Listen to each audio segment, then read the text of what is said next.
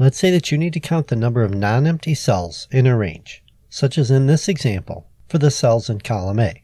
We're going to put the answer in cell C2, so left click on cell C2.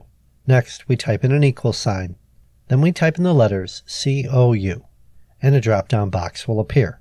In the box, left double click on COUNTA. From here, we're going to go to the first cell in the range of cells, cell A2, and left click and hold and then drag down to the last cell in our range of cells, cell A18. Then release the click and hold. And next, we type in a closed parentheses, and to finish, we hit the enter key, and we have our answer of 15. This will also work if your cells are all in the same row, as you see in this example. All right, my friends, hopefully you got something out of this video. I do have more videos right there for you. Till next time, I am out of here.